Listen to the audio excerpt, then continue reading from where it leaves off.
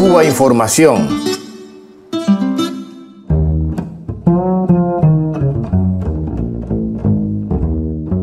Se cumplen 13 años de la llegada de los primeros prisioneros a la base naval de Guantánamo.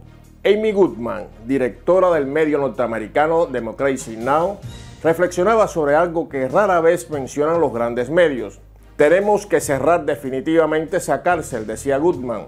Pero no solo eso, también debemos devolverle el territorio a sus propietarios legítimos, el pueblo cubano. 127 prisioneros permanecen aún en esta prisión, por donde han pasado ya 779 presos. Algunos han estado encerrados más de 10 años sin juicio ni presentación de cargo alguno. Conocemos sus nombres gracias a Wikileaks, cuyo líder Julian Assange permanece refugiado, es decir, preso en una embajada, y al soldado Bradley Manning encarcelado y condenado a 35 años en Estados Unidos. Washington ha impuesto un aplastante bloqueo a Cuba desde hace casi 60 años, como castigo por su forma de gobierno.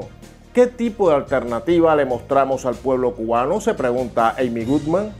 En esa esquina de su isla gobernada por Estados Unidos, una cárcel militar infernal donde muchos presos han sido golpeados y torturados. Estados Unidos tomó por la fuerza la bahía de Guantánamo tras la guerra de independencia de Cuba e impuso en la primera constitución cubana la llamada enmienda Platt, que le otorgaba el privilegio de intervenir en el país y de mantener bases navales por tiempo indefinido.